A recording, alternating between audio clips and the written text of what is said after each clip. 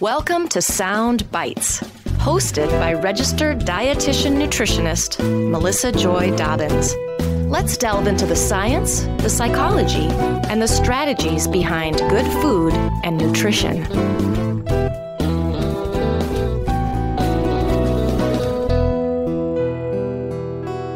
Hello, and welcome back to the Sound Bites podcast. Today's episode is about healthy and sustainable diets. We will focus on the prevalence of micronutrient deficiencies and why this is important to be aware of. Uh, it's actually a bigger issue and happening a lot closer to home than you might think. And we're going to take a look at how nutrient density and bioavailability factor into this equation. My guest today is Dr. Ty Beal. He's a research advisor on the knowledge leadership team for the Global Alliance for Improved Nutrition, or GAIN, in Washington, D.C. Dr. Beal's research seeks to understand what people eat and how it impacts their health and the planet. Welcome to the show, Dr. Beal. Thanks for having me. It's great to be here. I'm so excited to talk with you. And I do want our listeners to know that this podcast episode is a collaboration between Sound Bites and Beef It's What's for Dinner, a contractor to the Beef Checkoff. As a compensated member of the Beef Expert Bureau on behalf of the Beef Checkoff, my role is to share the science and support for beef's role in a healthy diet. But we are going to be talking a lot about other things other than beef today. And we are also submitting this podcast for one free continuing education unit through the Commission on Dietetic Registration for registered dietitian nutritionists dietetic technicians registered, and certified diabetes care and education specialists. So stay tuned for that. You can visit the show notes or my CEU page at soundbitesrd.com for more information. Before we get into the topic of today's episode, I would love to hear a little bit more about your background in your work, perhaps how you got interested in this field in the first place, and of course, your areas of expertise. Sure. Uh, so I started graduate school at UC Davis. It's University of California, Davis, uh, in the geography program. But I ended up getting a emphasis, a designated emphasis in global nutrition. Uh, UC Davis is really known for their global nutrition program. And when I started graduate school, I got really in- interested in the nutrition world. I started attending nutrition seminars and uh, even though there wasn't a formal emphasis for my program, which was geography, I ended up applying for that. And after a couple years, they approved it. So I, I did a mix of geography and nutrition and epidemiology, ecology, and even some agriculture courses. Oh, wow. Yeah, it was a really broad background. Exciting. Like, I can see how UC Davis could be that environment that would cultivate that sort of unique mix of interests. Yeah, exactly. For me, it was really great. You know, a lot of people had a problem with so much uh, diversity, so much difference. Like, uh, you know, people not knowing exactly where to focus. You have you have too many different disciplines. Um, but I really enjoyed that, and I think working in the food system, it really sets you up to understand better how everything interacts. And so, directly out of that program, I got hired at Gain, where I currently work, and that was just a really nice transition. I I'm able to focus a lot on research and you know the science side of things, but also do practical work that helps to inform programs and you know global topics like uh, diets and how is malnutrition and what's the cause of malnutrition in different contexts. Wonderful. So building on that, I would love to hear a little bit more about GAIN itself and your role there. And, and also, I always ask my guests if there's any disclosures that you have to note yourself. Sure. Yeah. Just to start, I don't have any disclosures. So, my organization, GAIN, is a global NGO. We seek to improve access to nutritious and safe foods um, that are produced sustainably. And we work primarily in Africa and in Southeast Asia, but we do have global efforts as well. So we really are trying to intervene in the food system um, to try to make a difference in people's diets and uh, reduce malnutrition. I specifically work on the team called Knowledge Leadership. This is a team that works on the research and evaluation and monitoring of programs. And so my specific role has been geared more towards uh, global analyses and projects or programs that are focused more on data analysis or data collection. So I work a lot on right now collecting diet quality data worldwide, trying to understand those patterns and also the relationship between diet quality and malnutrition and other uh, variables of interest. Great. Thank you so much. And, and just to clarify, um, you said you have no disclosures to note. And so I just wanted to, you know, make sure, uh, like I said, this episode is a collaboration between Soundbites and Beef It's What's for Dinner, but you are not receiving an honorarium from Beef It's What's for Dinner. You have no disclosures there either. Right. Okay, great. Thank you. So we're going to be focusing on micronutrient deficiencies and, and touching on some other related aspects, but you're mentioning how you are involved in diet quality assessment and talk about this from time to time on the podcast, but I would love to maybe address briefly sort of the challenges of collecting that data um, because we know that there are some limitations and challenges, but I would just love to hear from your experience and your perspective what those are so that we can kind of keep that in context as we move forward with this conversation. Yeah, I wish there were not so many challenges to collecting data on what people eat and really having a lot of confidence in that, uh, but there certainly are. Uh, you know, people don't always remember what they've eaten. Um, depending on the type of method used to collect that information, there are better and worse ways to do it.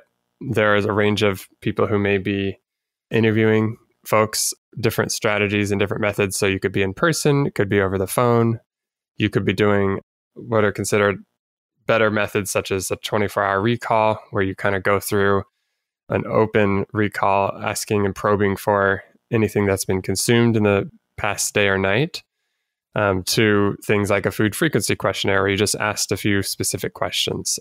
You know, people, for one, they don't always remember what they've eaten. Trying to understand the exact quantity of foods is is very hard. And even if you do remember, there are biases that can come in. So there is, you know, social desirability bias, for example, where people may not want to report how much they've eaten or foods that they consider unhealthy because it mm-hmm. doesn't it doesn't feel good to to always say that.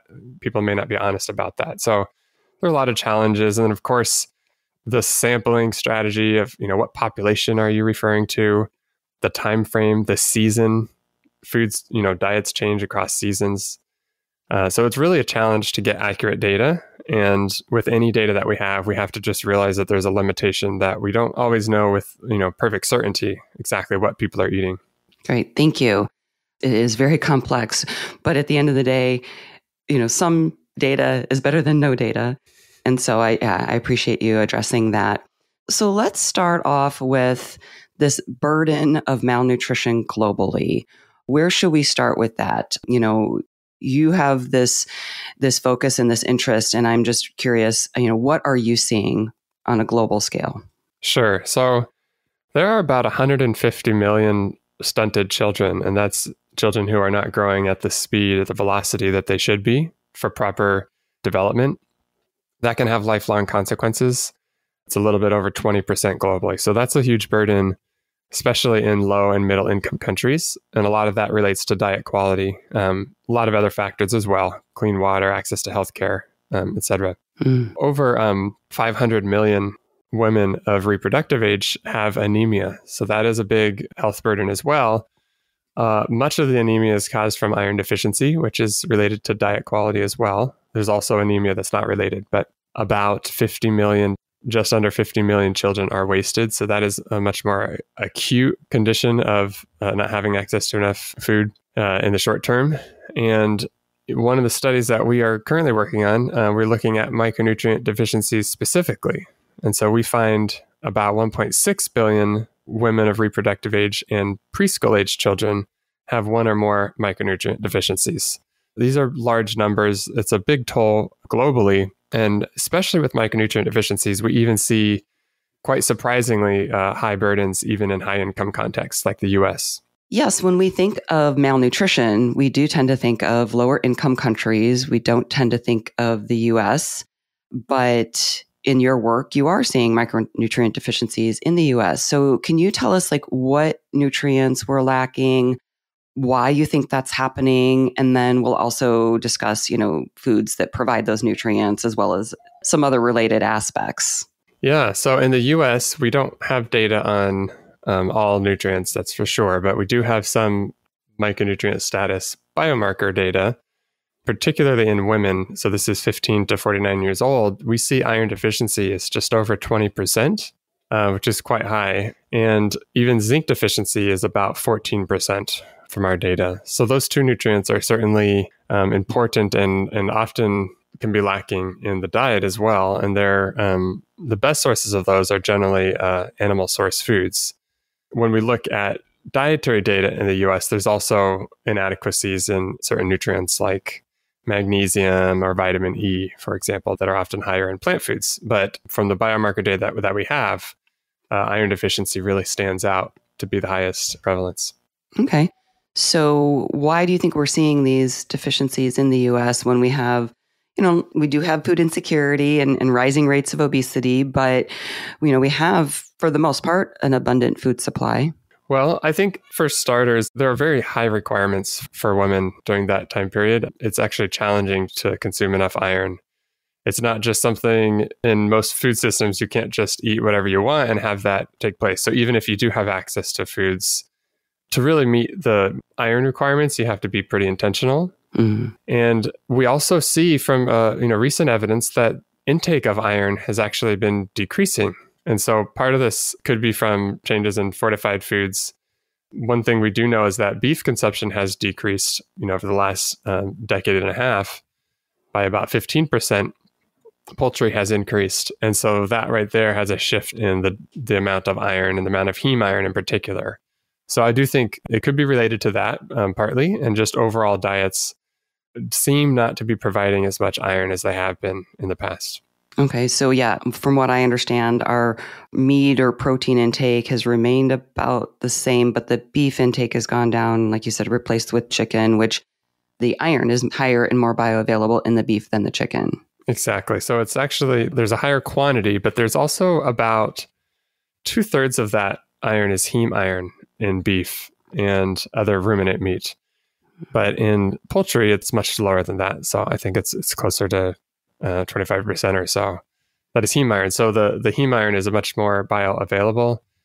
Um, and you're seeing an impact probably from the difference there. Yeah, let's talk about bioavailability for a minute because some of our listeners will be familiar with that term. Others it might be kind of a new concept to them. And I've touched on it here and there, but I think um, it's really important to explain how some nutrients are more available or better absorbed in certain foods or certain forms. And sometimes that's animal foods, sometimes it's plant foods, sometimes it's a combination. Um, so, can you kind of give us uh, the 411 on bioavailability? Sure. So, bioavailability has to do with you know the form that the nutrients are in and how the body can make use of those nutrients and so I think two of the key nutrients that have pretty important differences across uh, you know animal source foods to plant source foods is really the iron and zinc. For one, there's amount of heme iron in the food, which you know we discussed with beef and poultry, but only animal source foods contain heme iron, and so a higher proportion of heme iron is absorbed than non-heme iron. And in plant source foods, there is only non heme iron. So if you have a similar amount of iron in a plant source food versus something like beef, you're not going to absorb as much because it's not as um, bioavailable. There are also issues for iron with uh, anti nutrients that can inhibit absorption. So this is something like phytate or tannins in tea. Phytate is pretty high in pulses, so beans and lentils, um, nuts and seeds, as well as whole grains. And so the amount of phytate in the overall diet influences, you know, how much uh, iron can be absorbed and, and the, the bioavailability of that iron. Zinc similarly is influenced by phytate, among other anti-nutrients. So it's really important when you're trying to understand, which is what we do, is how, what is the estimated prevalence of inadequate intake. There are actually different requirements depending on the diet. So, for example, if you're on a, a, vegan or vegetarian diet, the iron requirements are about 1.8 times higher. So the targets are different, and that is precisely because of the differences in bioavailability.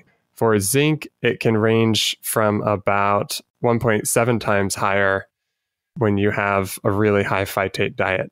It's not unhealthy to have phytate. There, there actually there can be benefits to phytate, but you have to recognize that there is an impact on bioavailability, and so I don't think that's always accounted for. And in, if you look at you know on a on a nutrition facts panel, the percent of the RDA for iron and zinc, it's not accounting for that. Mm. Whereas certain nutrients like vitamin A, there is actually already an adjustment built into the the metric. So mm.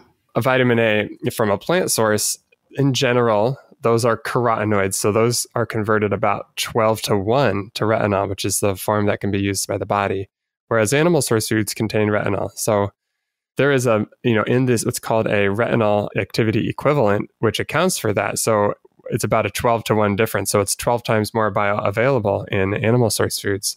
But at least when you're looking at the package, you can see, okay, if it's from a sweet potato versus, you know, a, a dairy product like milk, that is already going to be accounted for. Whereas I think the challenge with iron and zinc is that there's no adjustment in the indicator itself. Mm, that's a really good point. Thank you for explaining that to us. So, you recently published a paper on priority micronutrient density foods. So, tell us what this means and what you found in your research.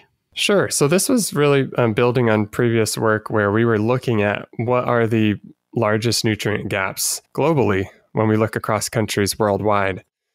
And we wanted to understand that from the available data. So we looked at uh, a previous project, looked at different data sources like biomarkers of micronutrient status, where you can see what the deficiency prevalence is for different populations, you know, estimated prevalence of inadequate intake based on dietary intake data, and even um, adequacy of food supplies, where you just look at a crude marker of the food supply and look at the nutrient adequacy of that food supply. So we looked across countries and we really see there's not data on every nutrient, but we saw six nutrients where it was very clear that there were gaps um, worldwide. So those were iron, zinc, vitamin A, folate, vitamin B12, and calcium. And there are certainly other inadequacies and deficiencies worldwide, but those six really stood out and the other important thing is that, you know, there's a public health burden from those nutrients. And the data that we were looking at worldwide, what are called food composition databases, contain those six nutrients pretty commonly, whereas they don't always contain other nutrients. And so we built a database to say, look, what is the density of different foods? You think about all the different types of foods that you would consume in, in terms of a minimally processed diet, not looking at packaged um, processed foods.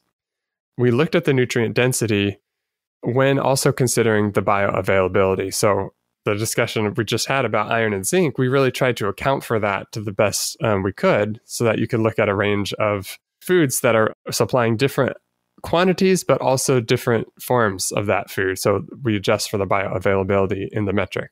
Thank you for sharing that. I'm curious as we're talking, I know you're talking about minimally processed foods and not so much packaged foods, but wondering your thoughts on fortified foods. I know that we have seen with like the folate fortification in some grain based foods that has helped prevent uh, neural tube defects and spina bifida.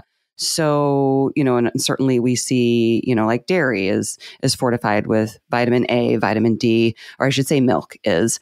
And with B12 being only naturally occurring in animal source foods, curious your thoughts on uh, fortification of foods and how that can help these public health concerns.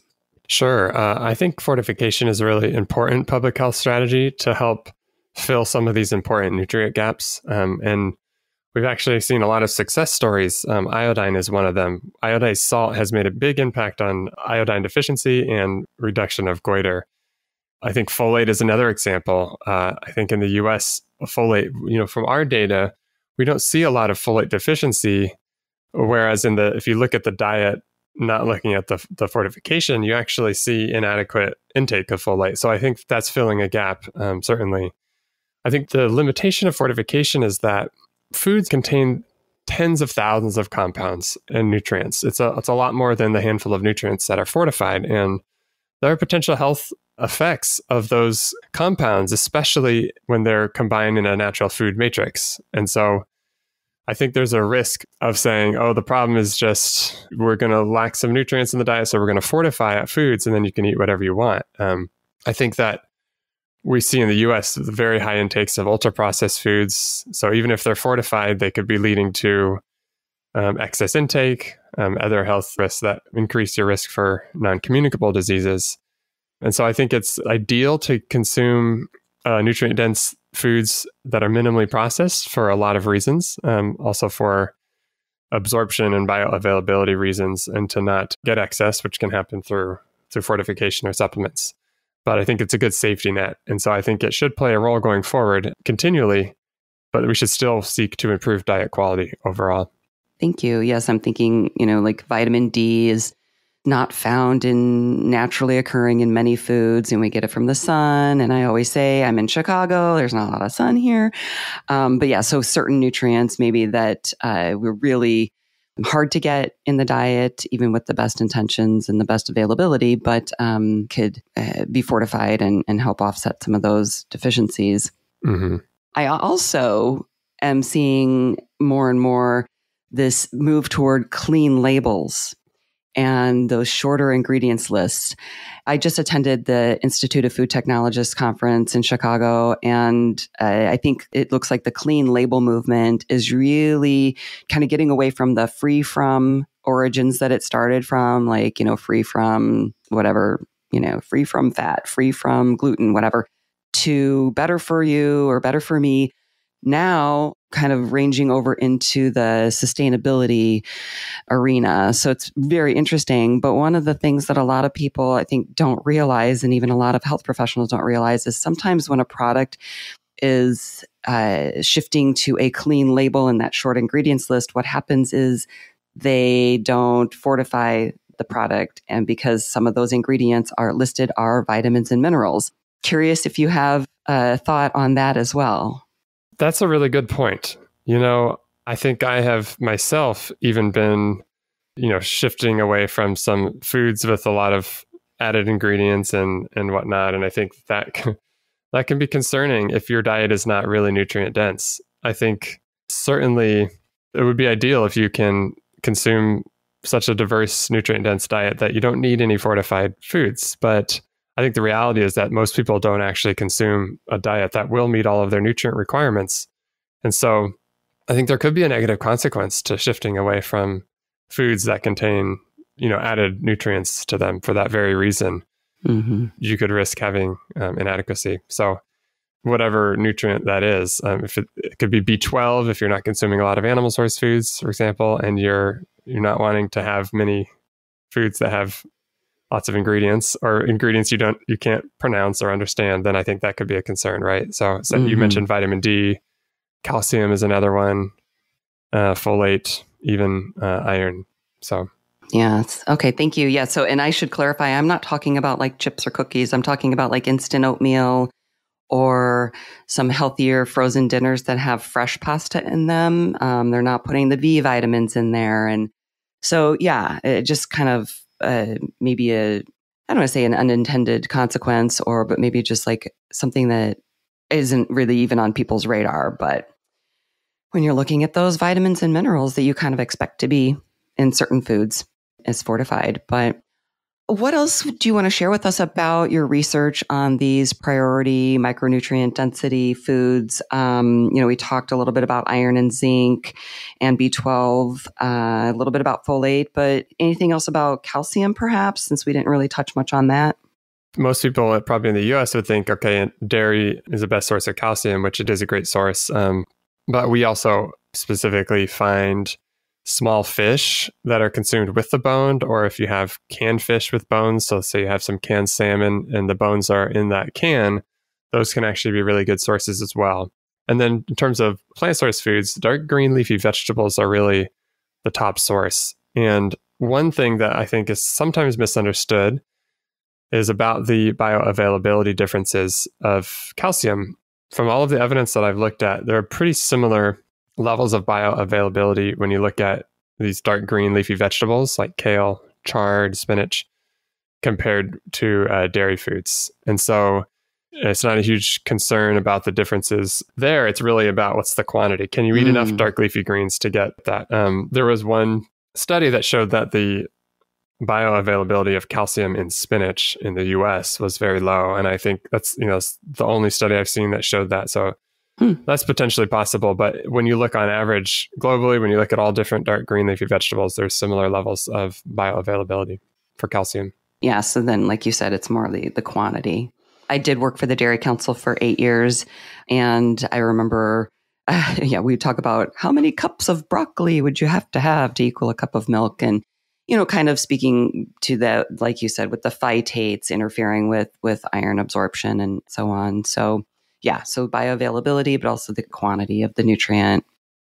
So I understand you're working on another paper, maybe kind of looking a little bit more at the sustainability aspect of our conversation today. You're working on another paper on the role of animal source foods in healthy and environmentally sustainable diets. And it's kind of cool because you're bringing together some authors with some really different perspectives. Um, so I would love to hear more about this project. Sure, I'm super excited about this paper. So the uh, one of the editors of the Journal of Nutrition asked us to write a paper reviewing the role of animal source foods in healthy and sustainable diets. And a couple of years ago, my colleague uh, Stella Nordhagen and I wrote a paper with our executive director uh, Lawrence Haddad to really try to get at this question of the role of animal source foods because they're a contentious topic. They're increasingly being brought up in discussions, especially around the environmental side of things. But they're definitely um, controversial and controversial on the health side and the environmental side. And so, what I'm really excited about is that I'm trying to bring people on who tend to fall on different sides of the aisle when you look at what's their role. So, those who may be more in favor of a you know moderate amount of animal source foods, and others who are in favor of reducing animal source foods. But with people who are very reasonable and open to evidence and really wanting to just understand things the best that we can. And so we're going through and we almost actually are finished with this, so we'll be submitting it soon. But we've gone through specifically on the health side and looked at what are the benefits, what are the potential unique components of animal source foods, uh, nutrient wise, uh, across the life phase, and then looking at the primary health risks that you would be concerned about that people have raised concerns over. So things like processed meat, uh, unprocessed red meat, saturated fat. And then we just try to address things in the most balanced way possible. And similarly, on the environmental side, we look at what are the risks and benefits. And we, we break things down through, you know, land use, um, soils, water, biodiversity, and then circularity. And so this process has been really fruitful. I've been pleasantly surprised to see more common ground than I had expected mm. among the co authors. That's encouraging. Yeah. And I think it's going to be really helpful because I think authors kind of tend to write with authors with similar perspectives, right? You don't really reach out to somebody who who opposes your point of view to say, "Hey, do you want to write a paper together?" It's not very common. That's being encouraged a little bit more in the there's a new uh, section in the AJCN called the Great Debates in Nutrition. But those folks are generally pretty far divided, so you mm. you don't really get a lot of com- you don't get a lot of agreement. And so this paper, I I, am hoping that it's actually a balanced, um, reasonably balanced paper that people can buy into on all sides. So that's what we did, and uh, we'll be submitting that soon.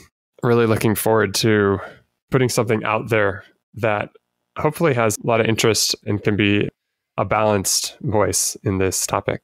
Absolutely. I will stay tuned for that and share that out with my audiences when it's out. Yeah, the polarized conversations and debates uh, with no common ground are really not helpful for people. It just confuses people more or, you know, pits them against the other side. And, you know, we know from like confirmation bias and critical thinking uh, aspect that, you know, a lot of us do just tend to look for that information that reinforces what we believe. So I give you a lot of credit and kudos for even attempting to bring these diverse opinions together to hopefully and and you said you know they're open to the evidence and they really want to have a deeper understanding even if it changes their initial thoughts or bias and come to some more meaningful practical applications for this information with that common ground and yeah. see all the nuances right Yeah, I will just admit right from the start that I have already through this process I have had some you know some of my interpretations of the evidence challenged and I have learned and and adjusted and so I think probably others have too. So I just as much as anybody else I need the person who can kind of challenge my biases and really help to get at that closer to the what the reality is and so I'm really thankful for that. Wonderful.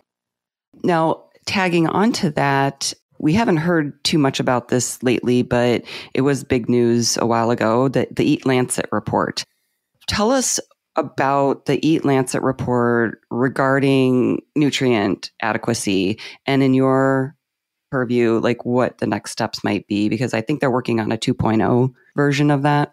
Yeah, exactly. So they're, they're currently working on a 2.0 version and they're really trying to build off of what was produced in that 2019 paper and try to address the concerns that were raised.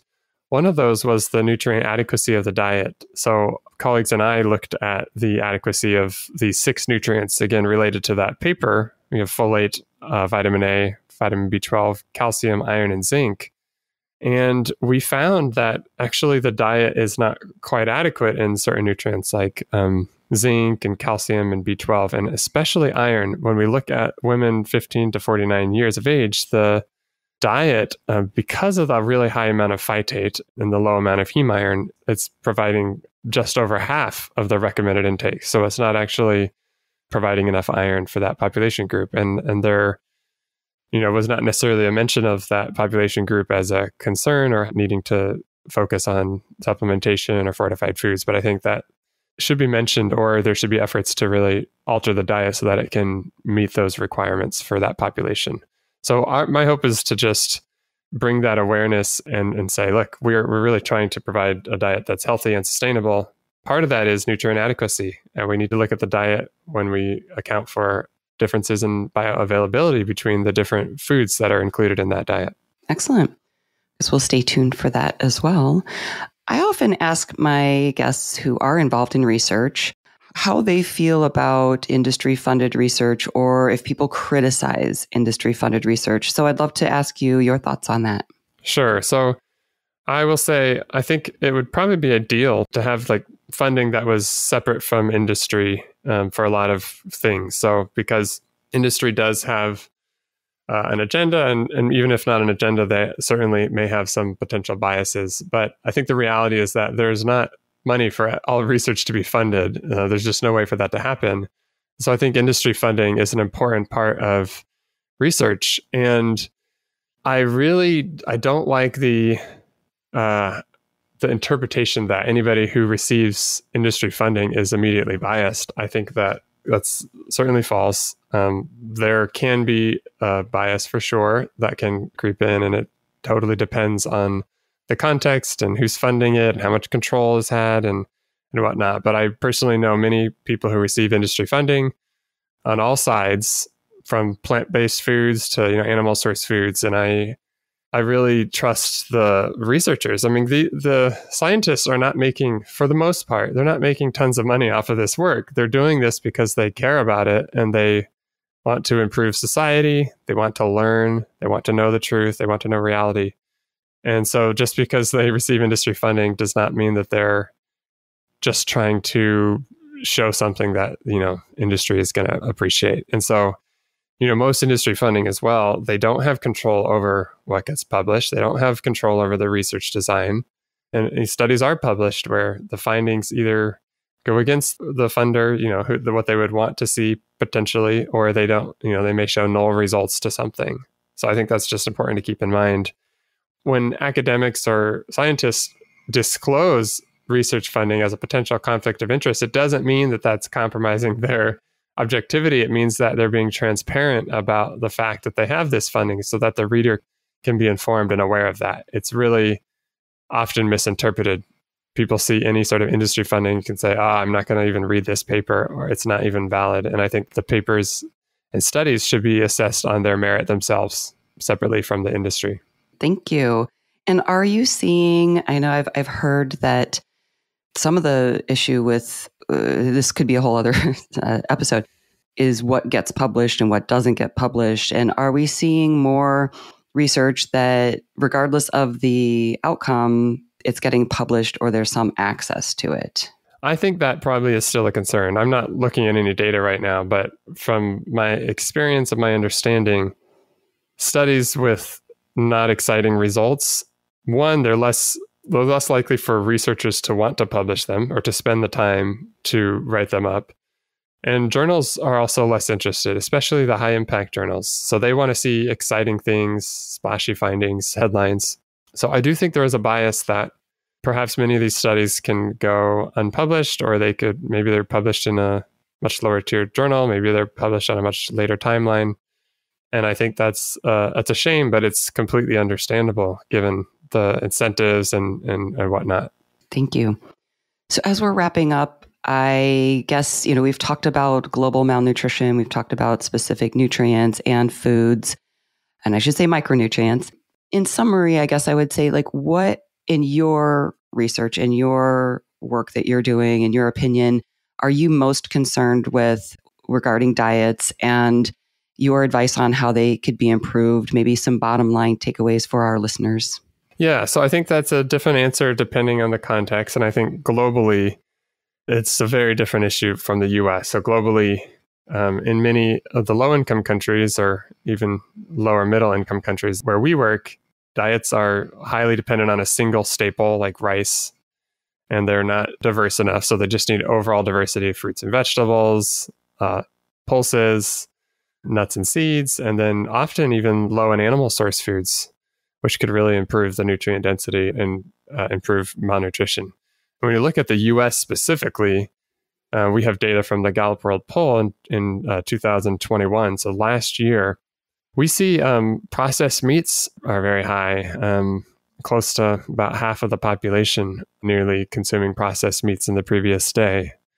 We see sweet foods, over half of the population consuming sweet foods, um, a third of the population consuming soft drinks. And so we know from other evidence that ultra processed foods make up more than half of the diet in the US. So I think limiting these foods and transitioning to more minimally processed foods is an important strategy. That's kind of the key thing when you look at the health risks from ultra processed foods and the proportion of those in the diet. Um, the specific foods that uh, you know we'd benefit from increasing in the U.S. probably pulses, so things like beans, peas, and lentils, uh, nuts and seeds, and whole grains. Most of the grains consumed in the US are refined grains. So I think it's always important to look at the dietary um, issues and the uh, nutritional issues in the population that you're dealing with. And in the US, I personally don't think there needs to be a, a huge reduction in animal source foods. I think that it's more this concern of the ultra processed foods and trying to make the diet much more minimally processed. And so, if there was that one food in the animal source category, I think processed meats um, certainly should be decreased. But mm-hmm. otherwise, I think it's more about balancing the diet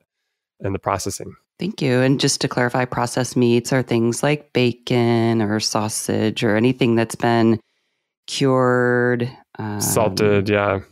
Fill in the blanks for me. Salted. Yeah. Nitrates added to that. Um, pepperoni, there's a few different reasons for why those are a health risk. There's a high in sodium, nitrates and nitrites can increase risk of cancer, colorectal cancer in particular, and different preservatives. And there's a range. I should also add that there are healthier and less healthy way to process uh, meats. And so mm. there's not a lot of research on this, but chicken McNuggets are highly processed and hyper palatable and usually consumed in, not in a balanced meal. Whereas if you have something like prosciutto, uh, a little bit of prosciutto in a meal, and it's just salt, and you're keeping your sodium levels intact, I don't see any major risks from that. So I think it's really about context. But certainly, when you look overall, I think the a reduction overall would be important for public health. Right. So watching those processed meats, reducing that, the fresh meat seems to be, like you said, if we keep that moderate, there's certain populations, probably not in the US, that maybe some in the US that, that could increase that a little bit to get those nutrients met. Yeah, I think so. Um, when you look globally, like, you know, we, we do some work in Mozambique. There's actually quite low intakes of animal source foods in particular. Increasing, for example, unprocessed um, red meat could actually be a, a, a real positive benefit for those populations. And you mentioned diversity, and I really like to put a finer point on that. Because some of my listeners might be familiar with this, but others might not.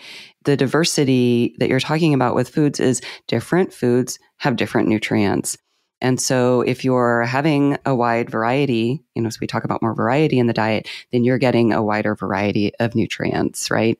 That's absolutely right. And I think when you get into this discussion about animal source foods, there can be in, in the US and other high income countries this push to reduce as much as possible. And I think it's important to just notice that and recognize animal source foods have complementary nutrition profiles to plant based foods. And so they have different nutrients that um, help together provide the nutrients you need in a healthy diet. And so the more diversity you have, the higher your chances of meeting all of those nutrients. And that's an important aspect. And of course, so many other, you know, non-essential nutrients that can have benefits. There's phytonutrients and different compounds that can be beneficial, fiber, etc. Well, thank you for saying that because that was going to be my last or my next question for you was to address that how animals and plants can be complementary because like you know you said B12 is only in animal foods it's not in plant foods certain nutrients are more available and bioavailable in plant foods. And so uh,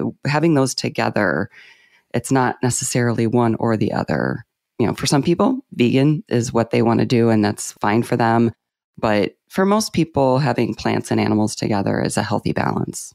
Exactly. And if you look in the US, I think it's about 2 to 3% of the population that actually are vegan. So it is a very small minority more power to you if you can do it and be healthy. But especially for young children, you got to pay attention to the the nutrient intake. Make sure that you're getting all the nutrients you need, and in general, a balance between those different food groups is really important. Yeah, and I talk about this on the on the show quite a bit. Uh, one of my guests said, "We don't need more plants; we need better plants." So I really want to emphasize you're saying in the U.S we could do better by getting more pulses, nuts and seeds, and some more whole grains. So, absolutely. I don't think anybody can argue with that. Great. Well, where can people find more information? I know you're on Twitter and you have a lot of engagement on Twitter.